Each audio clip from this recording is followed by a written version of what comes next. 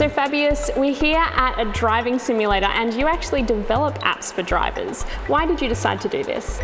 People already use apps while driving and if you think about it, that's pretty crazy. Some people, they even check social media while driving and that's obviously unsafe, it's distracting. So how do you make driving more engaging but also not distracting? Right, so I don't know about you, but I like to play video games. They're pretty fun. So we were interested in whether we could draw inspiration from video games. There's a couple of elements that make them really fun. So for example, uh, there's competition, there's rewards, there's challenge. So we were thinking maybe we can make safe driving fun by making it a bit more challenging, by having rewards, maybe a bit of competition as well. Um, yeah, so that's sort of the idea, yeah. And what does that look like when you've got a game that makes driving safe? Right, so there's a couple of things that you're meant to be doing in order to ensure safe driving. For example, you're meant to uh, keep an adequate distance to the car in front. And in the very early design stages of this project, um, we imagined, for example, the car in front to be a zombie. Obviously, you want to avoid a zombie, and that's how you keep maybe people from keeping a safe distance. Now, the current idea is actually about uh, speed keeping. But enough talking about it, let's try it out.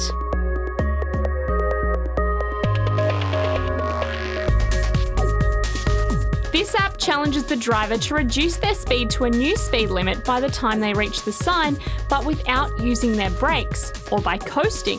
It was difficult at first. I didn't get any points because I was at like 42. But it was very satisfying once I got the hang of it. Yeah, I got three stars. Stars. That, so that's really satisfying. And there were other benefits even when I wasn't approaching a new speed limit. It does make me more like aware of my speed.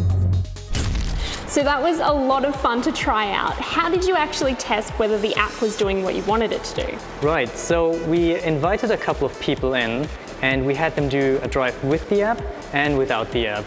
So then we could compare.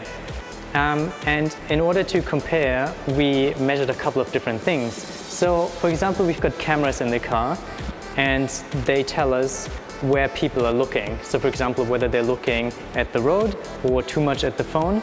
So that tells us about visual distraction.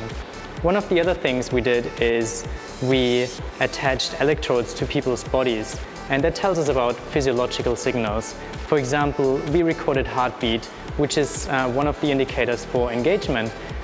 Okay, and what did you actually find out from that? Right, so I think it's really interesting. Um, we found that during these um, challenges, the coasting challenges, people got a bit excited. So overall, we, we saw more engagement. But um, what's interesting is that the engagement was sustained throughout the entire drive. So even between the challenges, people were more focused on staying in their lane? That's correct, yes. And um, it's important to remember though, this was just a study in a simulator, so we'll have to try it in the real world as well and see what happens there.